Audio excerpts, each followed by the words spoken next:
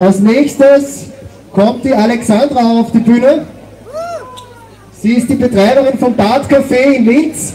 Großen Applaus bitte.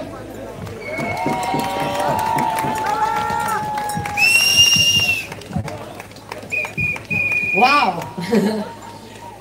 Ja, also ich habe mir, als ich heute Nachmittag erfahren habe, ich soll was sagen, habe ich mir gedacht, das Erste, was ich sagen werde, ist, Danke an die Linzer Polizei, dass ihr so empathisch seid, unsere Spaziergänge zu begleiten und nicht zu bestrafen.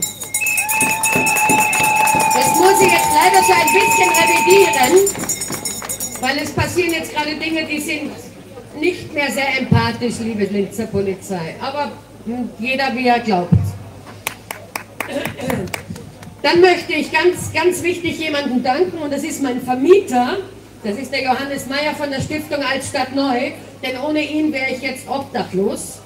Hätte er mir nicht die Miete erlassen, mir meine Pacht erlassen für mein Badcafé, dann hätte ich nichts mehr.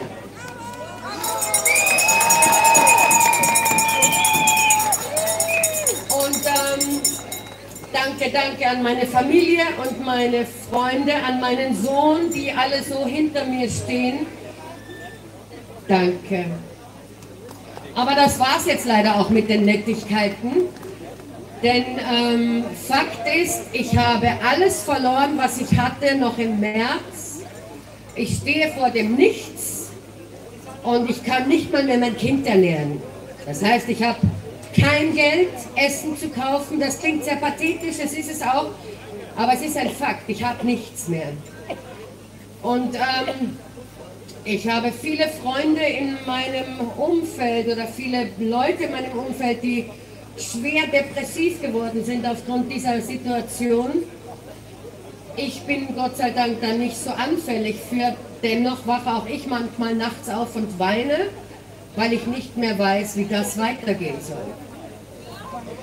Ich habe mich dazu entschlossen, mein Leben jetzt wieder selbst in die Hand zu nehmen. Ich weiß, dass mein Kopf wahrscheinlich rollen wird, Spätestens am Montag, wenn ich mein Badcafé eröffnen werde um 16 Uhr.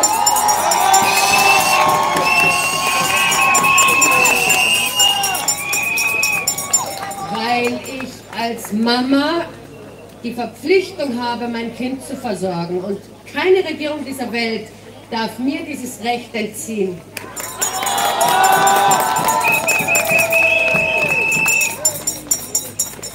Halten von dieser Corona, von diesen Corona-Maßnahmen, was immer man will, auch von diesem Virus, was man möchte. Jeder soll glauben, woran er glauben will. Ich aber muss für meinen Sohn sorgen. Ich muss dafür sorgen, dass wir nicht verhungern in einem Land wie Österreich. Ich bin eine Geschäftsfrau, ich bin keine Bittstellerin. Ich habe von diesen ganzen Corona-Härtefallfonds nichts bekommen. Ich bin durch jedes Raster gefallen, durch das man fallen kann. Und ohne meine Familie, ohne meine Freunde, ohne meinen Vermieter hätte ich das bis hierhin nicht geschafft.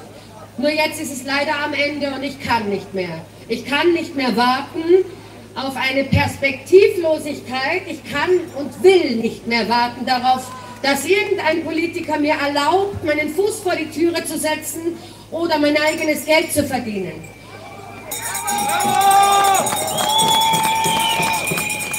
Und ich hoffe, ich hoffe so sehr, dass es mehr Linzer gibt. Ich rufe zu gar nichts auf, denn nur ich werde mein, mein Lokal öffnen am Montag. Aber ich hoffe sehr, dass es einige gibt, die ein bisschen darüber nachdenken, dass wenn ihr nichts tut, wird euch einfach alles weggenommen.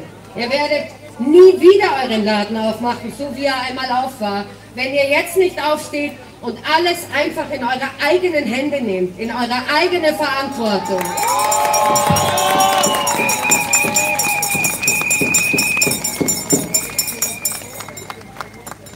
Ja, es gibt gar nicht mehr so viel zu sagen, außer es ist großartig, dass ihr alle hier seid.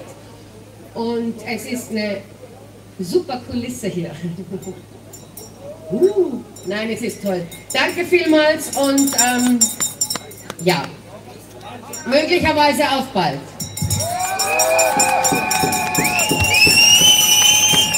Danke, Alexandra. Wir werden zahlreich natürlich das Badcafé besuchen am Montag.